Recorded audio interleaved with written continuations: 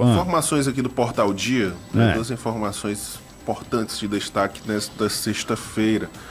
Primeiro é que Teresina agora tem um fórum de mudança do clima e biodiversidade, com a finalidade de monitorar os efeitos adversos das mudanças climáticas. O grupo foi instituído mediante decreto assinado pelo prefeito Doutor Pessoa, publicado no Diário Oficial do município. A criação do fórum se deu em razão dos alertas sobre possíveis enchentes no Rio Poti e no Rio Parnaíba, efeito das mudanças climáticas na capital.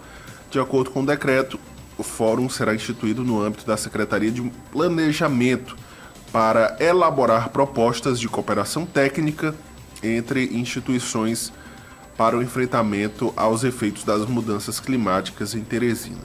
Entre as atribuições do grupo está a formulação de propostas de promoção de ações de monitoramento aos efeitos adversos das mudanças climáticas. Então, importante é novidade esse grupo que vai monitorar os impactos das mudanças climáticas aqui na capital, principalmente os efeitos nos rios Poti e Parnaíba, possibilidade inclusive já apontada pelas projeções de cheias dos dois rios nos próximos anos.